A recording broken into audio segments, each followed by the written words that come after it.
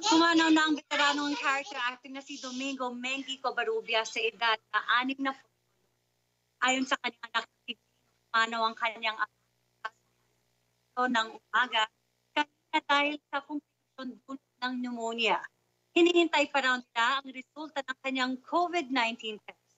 Pero bago siya pumanaw, gawa pang magpaalam ni Mengi sa pamamagitan ng kanyang Facebook account bumuhos ang pakikirami ng kanyang mga kasamahan sa film industry gaya ni Direk Adolf Alex. Palabiro raw si Tito Mengi at masayang kasama sa set. Isa raw siyang underrated na aktor na laging ginagalingan sa kanyang pag-arte.